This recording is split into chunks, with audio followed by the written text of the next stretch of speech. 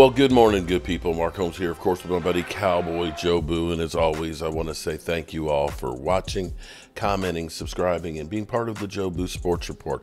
Without you guys, as well as you ladies, you know that this literally does not work. I hope everybody's having a great day. Um, today is the last day of Cowboys minicamp. This is the break until training camp starts. We don't know the exact date of when it's going to start, but somewhere between the 20th and the, say, 28th of July. That's six weeks away. Not a whole lot of time. And this morning, we've got some bad news. Bad news, bad news, and okay news. Um, here's the thing I will say about the Dallas Cowboys typically when we get injury news, we get the best case scenario which is usually they'll say, "Oh, you know, or we're not going to put Dak Prescott on, on injured reserve because he could be back in four weeks from a broken thumb, uh, broken in three places." Um, when we heard about Michael Gallup, we heard that you know he he'll be ready to go, you know, by the end of training camp, and it was literally weeks in. When the Canadian bulldozer hyperextended his elbow, they said about three or four weeks, and he only played about three or four weeks that season because of the hyperextended elbow.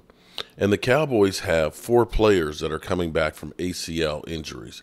Now, ACL injuries aren't what they were when I went and played football and things. Um, believe it or not, people will call me a liar, but when I played high school football, the very last scrimmage that we played, in the fourth quarter, I tore my ACL.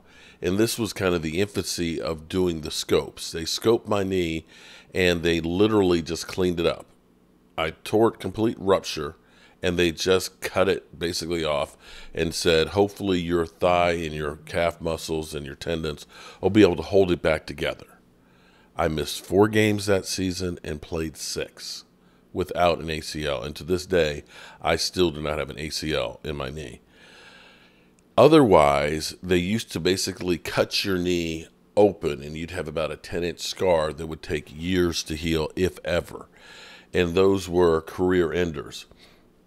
Diggs tore his ACL in practice after week two and has been out.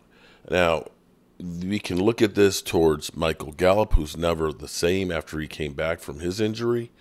Um, but the difference was Michael Gallup tore his in January, as opposed to Diggs doing his back in September. So there's more time to heal. The bad news is he may not be ready to start of training camp. And the question you have to ask is Is this the Cowboys giving you the best case scenario where he may not be ready to start the season? Um, it wouldn't be the first time we've been kind of, you know, given the best case scenario and it doesn't work out.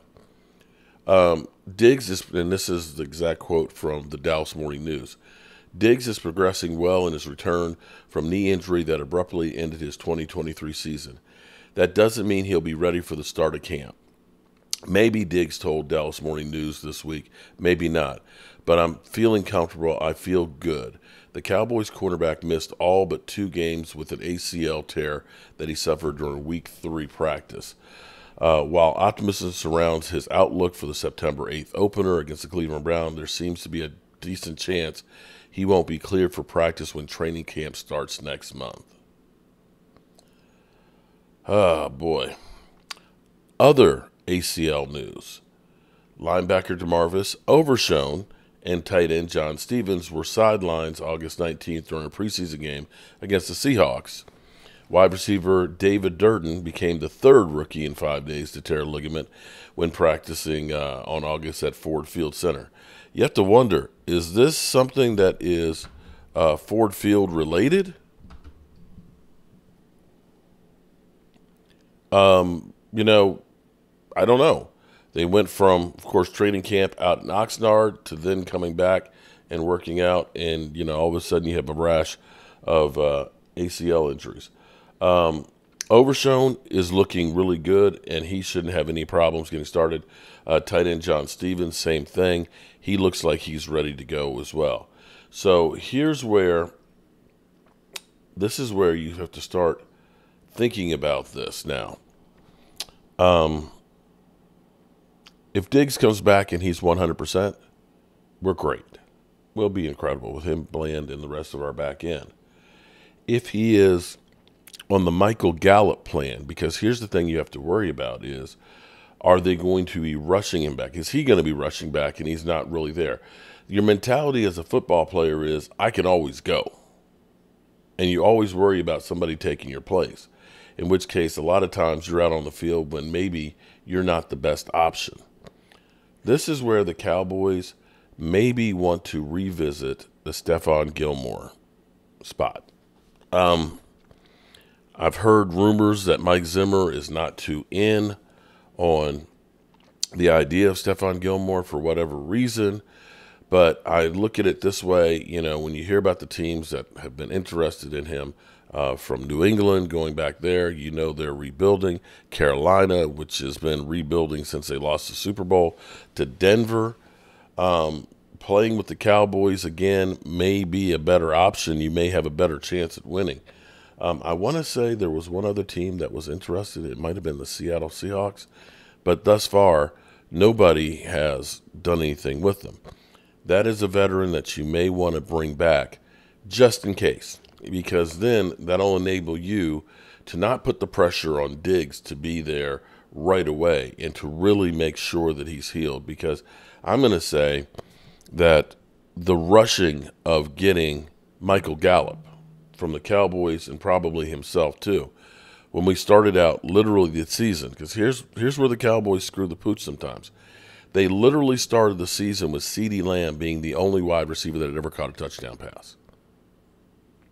And so you had Noah Brown, and I can't even remember the word salads of, of players that we had that were starting. Uh, Dennis Houston and things. Um, it was kind of crazy. And so you're Michael Gallup, and you're saying to yourself, I need to get back on the field because I just signed this contract, and my team needs me because there's no experience out there. And I feel like because he was literally on one leg, he completely lost his confidence that he never got back. And that's the last thing you want to have happen to Diggs is that you rush him out there, you get a setback, he's not ready, and loses confidence. So this is where the Cowboys may need to revisit Stephon Gilmore. All right, good people. That's the first update this morning that just came across here just uh, 10 minutes ago, and uh, I wanted to bring